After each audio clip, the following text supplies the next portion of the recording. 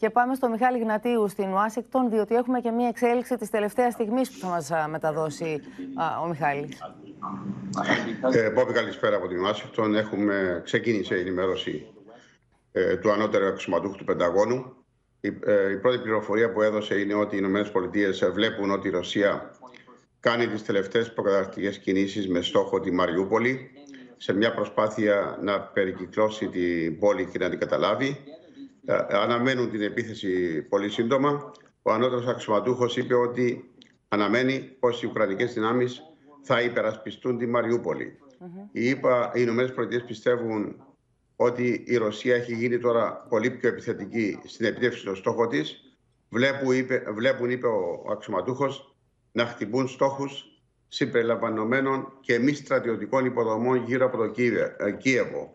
Οι Ηνωμένες Πολιτείες πιστεύουν ότι τα ουκρανικά στρατεύματα στοχεύουν τη ρωσική αυτοκινητοπομπή αρμάτων μάχης αυτή τη στιγμή, αυτή την αυτοκινητοπομπή μήκους 400 μιλίων, που βρίσκεται ε, περίπου 40 μίλια από το κέντρο της πόλης.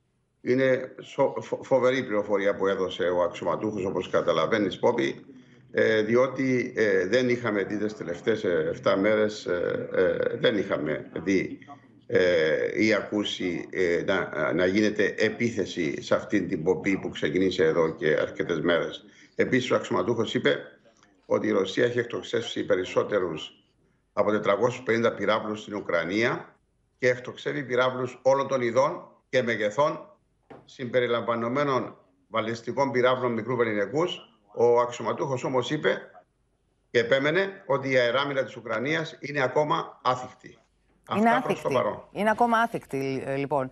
Αυτό Άρα... είπε ο αξιωματούχος. Άρα αυτή η, αυτοκι... η... η πομπή των 65 χιλιόμετρων με τα ρωσικά στρατεύματα κινείται, μας λέει σήμερα. Κινείται και πλησιάζει προς Κίεβο. Δεν είπε αν κινείται ή όχι, είπε ότι ε, αυτό που βλέπουν αυτοί από τους δορυφόρους προφανώς, έτσι, ε, είναι ε, στόχος επίθεσης από Ουκρανούς. Μάλιστα. Και είναι πολύ σημαντική πληροφορία, διότι οι στρατιωτικοί εδώ πίστευαν από χθες ότι εάν οι Ουκρανοί χτυπήσουν το πρώτο και το τελευταίο όχημα αυτής της ε, πομπής ε, θα σταματήσει. Θα ναι, αλλά πώς το εξηγεί αυτό ε, η πηγή σου; Δηλαδή, τρεις μέρες τώρα ακούμε για αυτή την πομπή των 65 χιλιόμετρων. Τι δείχνουν με φωτογραφίες, κυκλοφορούν δορυφορικές φωτογραφίες. Είναι αυτές που βλέπουμε. Ε, προκαλεί δέος το να το βλέπει κανείς και να καταλαβαίνει πόσο, για πόσο πολύ στρατό μιλάμε. Και τόσες μέρες δεν κινήθηκαν οι Ουκρανοί εναντί τους.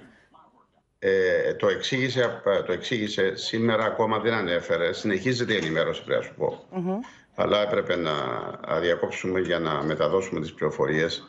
Ε, η, ο αξιωματούχος θεωρεί ότι ο λόγος για τον οποίο υπάρχει, έχει προβλήματα αυτή η υποπή είναι ότι δεν έχει καύσιμα, το οποίο είναι σημαντικό, και υπάρχει πρόβλημα και στην τροφοδοσία. Και γιατί δεν έγινε νωρίτερα η επίθεση αφού υπάρχει μια πομπή εκεί από τους...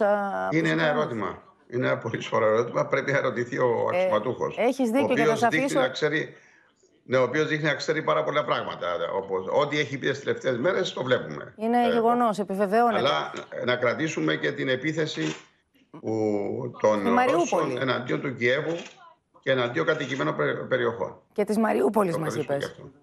Και τη Μαριούπολη, βεβαίως. Τη Μαριούπολη πότε περιμένει να γίνει επίθεση, γιατί μας είπε σύντομα. Για πόσο σύντομα μιλάνε, Μπορεί να είναι θέμα ωρών; Δεν είπε ακόμα. Δεν είπε, αλλά το βλέπει σύντομα. Μάλιστα. Και όταν το βλέπει σύντομα, μπορεί να εννοεί τι επόμενες 12 με 24 ώρες. Συνέχισε το ρεπορτάζ. Πάντως, ε, είπε επίσης ότι αναμένει ότι οι κοινωνικέ δυνάμεις θα μπορέσουν να υπερασπιστούν τη Μαριούπολη.